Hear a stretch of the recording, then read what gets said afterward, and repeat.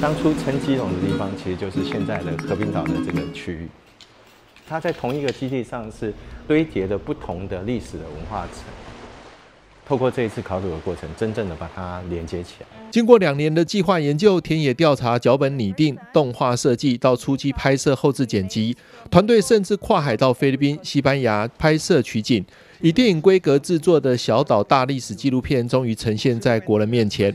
不只是大基隆历史场景计划的成果展现，更补足了台湾历史遗落的重要一块。发觉到，呃，过去台湾所遗忘的一小段的历史。把南大园、北基隆这一段我们不曾，呃，过去中不曾记忆的，呃，那个片段连接起来，这一些功劳呢，我想都要多亏我有一个，呃，以文化作为先行的市长。如果不是市长支持我们这样做，我想考古这件事在基隆其实很难完成。那在一六二四年的时候，那其实荷兰人来到台南。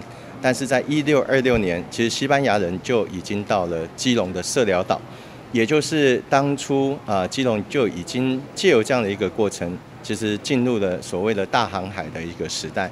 不过过去大家一般比较了解的是古都台南的一个历史，呃，不过却忽略了其实基隆在那个年代呃是同等的一个重要。在华山的全国首映会上，包括前法务部长邱泰山等人都出席观赏。基隆市长林佑昌强调，大基隆历史场景计划的成果证明，文化与都市发展不必然会产生冲突。其实文化跟历史跟都市的发展是密不可分，但是它并不是相冲突的。啊，最主要是看主政者跟规划者是怎么样来利用跟看待它。那我们基隆市其实这一次的考古发掘计划就是一个非常好的一个案例。呃，这个是应该是全国唯一一个县市。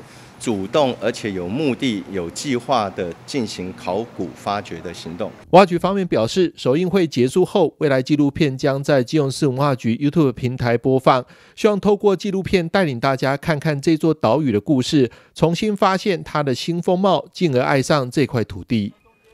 记者张启腾基隆报道。